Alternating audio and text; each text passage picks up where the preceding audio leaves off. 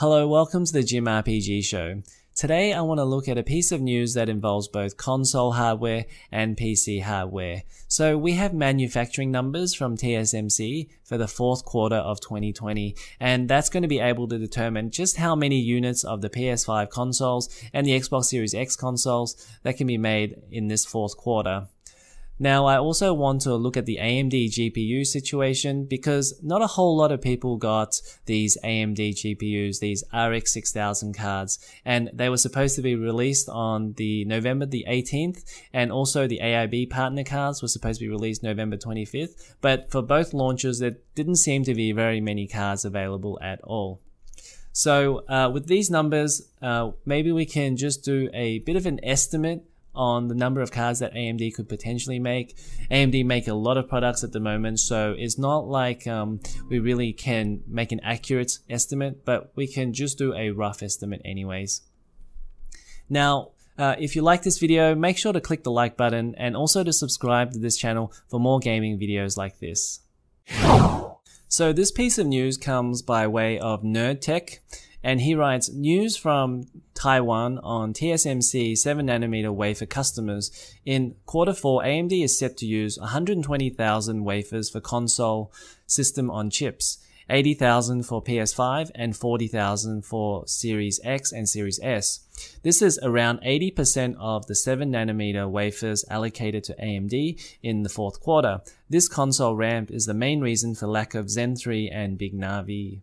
So this is the table for the products that TSMC is going to manufacture in the fourth quarter of 2020. And you can see here the PlayStation 5 is going to manufacture about 78,000 to 80,000 wafers. And the Xbox Series XS is going to manufacture 38,000 to 40,000 wafers. So we already know what the die size is of the PS5, so we can easily work out just how many units of the PS5 is going to be manufactured.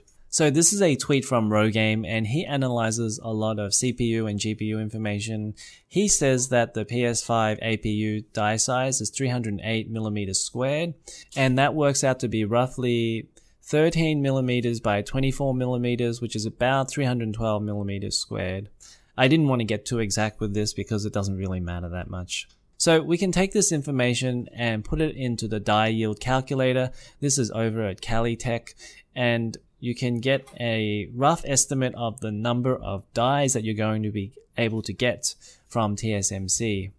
So this die yield calculator says for this die size and this number of defect densities, we should be able to get roughly about 125 good dies. Now 125 good dies times 80,000 wafers, that turns out to be exactly 10 million units of PS5. And honestly, I was rather surprised how neatly that worked out. Now, in the interests of time, I didn't do it for the Xbox Series X, but I roughly estimated based on the fact that the Series X is about 360 millimeters squared and the Series S is about 200 millimeters squared for the two respective dies. And so I would assume that they would want to make about 3.5 million units of the Series X and about a million units of the Series S. Now, if you were watching my previous video and you were wondering whether that report that stated that there were going to be 10 million units of the PS5 being manufactured this year was legitimate? Well, you can see here from these numbers and from the analysis that it's more than likely that there's going to be 10 million units of the PS5. Now let's talk about AMD GPUs, and I know a lot of people were pretty upset that there were no cars to be found for both the reference launch and also the AIB partners launch about a week later. Now, if you go around to different online retailers, you'll see that there's not a whole lot of stock out there. And also when you go onto the eBay sold listings and also StockX, there's just not a whole lot of sold listings, meaning that maybe there aren't actually any cars that are being produced. So I think we should go back to this tweet from NerdTech, which shows just how many wafers AMD has allocated itself to its own products. And as we can see here, AMD has allocated 80% to the consoles, and that obviously means 20% equals about 30,000 for its own products. So as you can see, AMD has a pretty big lineup of products and it's kind of hard to determine just what the ratio might be between, say, the number of Ryzen 5000 CPUs versus the Radeon GPUs. We do know that the Ryzen 5000 CPUs. They're a smaller die and they charge more for those. So technically they make more profit than the Radeon GPUs. Okay, let's do a conservative estimate of the number of RDNA 2 GPUs that AMD could make in quarter four of 2020. So if we take a look at this die size, which is 536 millimeters squared, that works out to be roughly about 57 good dies if you're using a wafer diameter of 300 millimeters. Um, I've been using the wafer diameter of 300 millimeters because AdoredTV has also been using this. So everybody should go and check his channel out because he makes great videos as well. But if we use 57 good dies times 3000 wafers, that gives us around 171,000 GPUs. And actually 171,000 GPUs, that's quite a lot when you think about it. But obviously when you divide it between the number of countries that this actually has to go to, let's say there's about 40 countries that it has to go to, well, then that really only works out to be about 4,000 GPUs. And that's not a whole lot. It might be enough for a country like Australia, but not for a country like America or even China.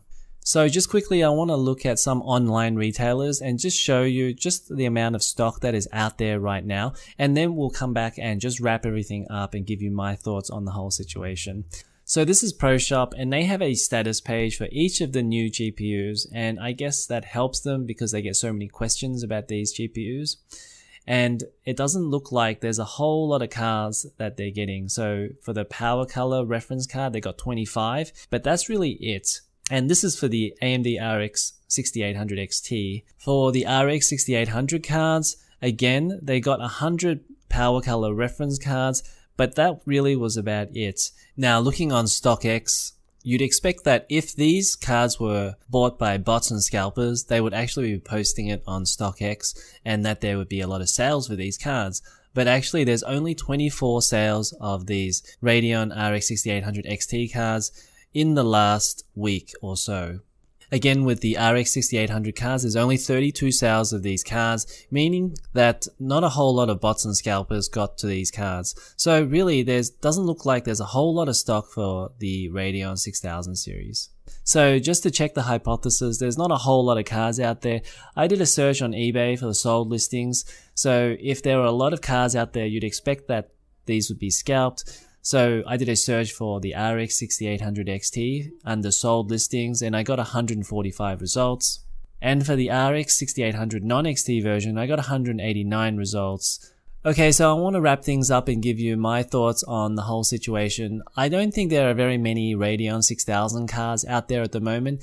If you look through eBay, there's not a whole lot of listings for these cards and doesn't look like the Boston scalpers have got to them either, meaning that uh, if there were cards available, I think the Boston scalpers would have got them. I think you would have heard a lot of scalpers talking about these cards and uh, talking about how much profit that they were making about these cards, but doesn't seem like there's a whole lot of cards out there.